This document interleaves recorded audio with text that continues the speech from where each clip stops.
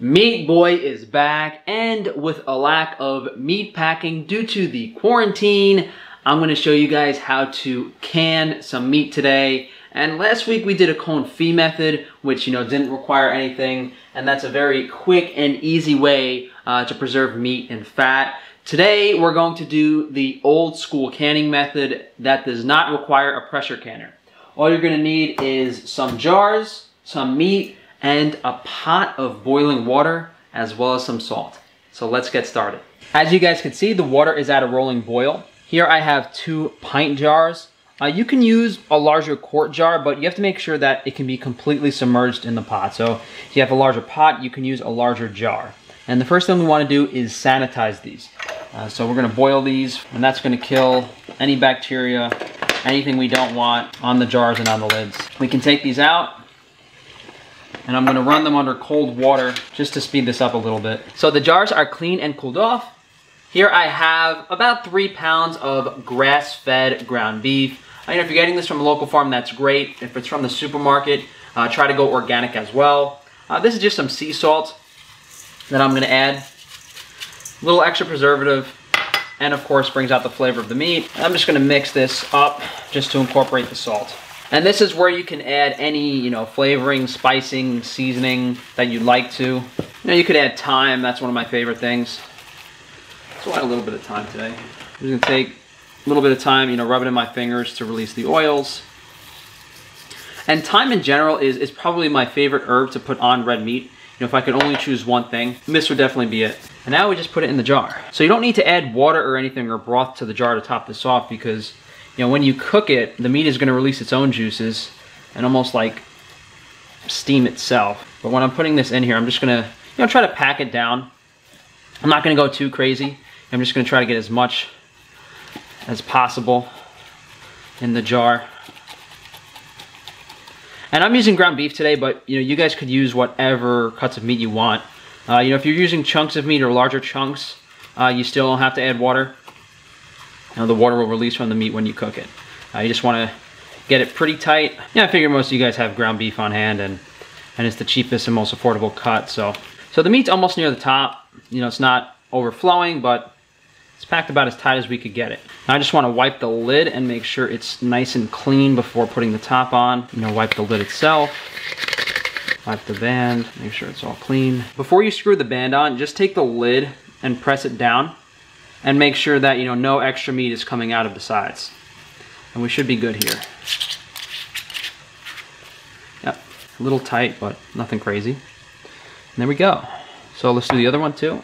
I would say the only really important part here is that you try to get, you know, the bottom packed pretty tight, and then the rest of it is, is pretty easy to do. All right, so again, I'm gonna take my lid, press it down, and make sure there's no extra meat. Looks good. Wipe the edges, and then we'll screw it on.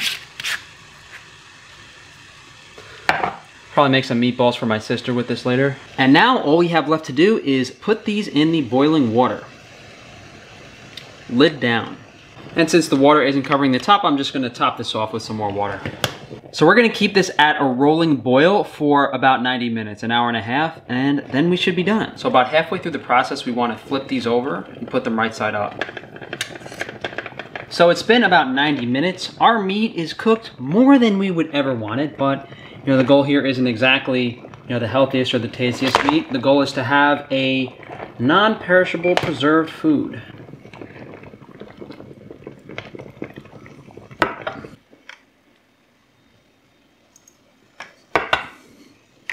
So let's take a quick look at these jars. Obviously incredibly hot, but you know, you could see the jars are full of the liquid that has seeped out of the meat. So as this cools off, what's going to happen is, you know, the meat is going to settle to the bottom and there's going to be like a little bit of a space on top. So, you know, don't be surprised if you see something like that. And these are probably good for, you know, I would assume at least a year or two, uh, maybe even longer. Now, you lovely ladies and gentlemen might be wondering, Frank, don't you need a pressure canner? Isn't this not safe? I mean, our grandparents, whether it was 50, 100 years ago, used to use this method to preserve food, and a lot of people still use this without a pressure canner. A lot of our modern food guidelines are because our food system is so polluted with chemicals, unnatural strains of bacteria that it becomes dangerous. But if you're using, you know, a high quality meat product, if you're sanitizing your jars, you know, there's no real difference between this and the pressure can stuff. And I would even argue that that's being heated at such a high temperature, you're probably going to lose even more of the nutrients. Maybe we'll give all of the stuff we've made a taste in a future video, but I mean, let's be honest guys, well done, overcooked canned ground beef. I mean, it might still be moist because, you know, all the moisture is in there and, you know, if you were to add like tomato sauce or, you know, a lot of spices and seasonings, you know, this stuff might actually taste pretty good. Uh, but, you know, by no means is it going to be this like amazing end all be all dish unless you put, you know, quite a bit of effort into seasoning it. So I hope this helps some of you guys out. This method and the confit method are definitely the two easiest ways to preserve meat that require a minimal amount of resources, a minimal amount of time, as well as work, and you know you could use it with ground beef. Uh, I think next week we'll show you guys how to dry beef to make pemmican, and, and then we could also do jerky. But the problem with those two is that it's very time intensive, it's very labor intensive, and uh, you know most of you guys aren't gonna want to do that type of stuff.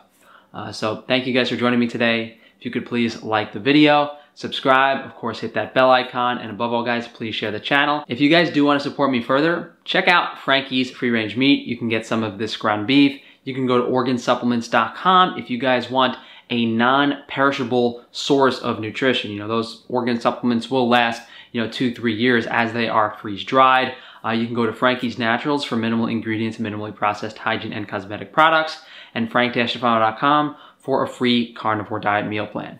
Uh, this isn't exactly on the meal plan, but I'm sure you guys could fit it in. Uh, one other thing to keep in mind is uh, the fat ratio of the ground beef you're using. Uh, ideally 70-30 because if it's 80-20, you might have to add more fat. So, you know, if you do want to take these out and actually eat them and use them in the future, you know, it's a bit better to have a complete source of nutrition in there. And I mean, even using organ grind, that would be great. And that's another reason that I use the smaller jars, which I forgot to mention earlier. Yes, you can use like a big quart jar or like even a half gallon jar and put a bunch of meat in there. But, you know, when you actually go to take this out to eat it, you know, even this amount of meat, this is a lot for one person. You know, you could do smaller jars and I would even encourage that. So take care, guys.